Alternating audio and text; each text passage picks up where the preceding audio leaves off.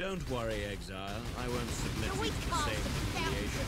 blood to wet this thirsty ground. Why? anticipated. Another deal.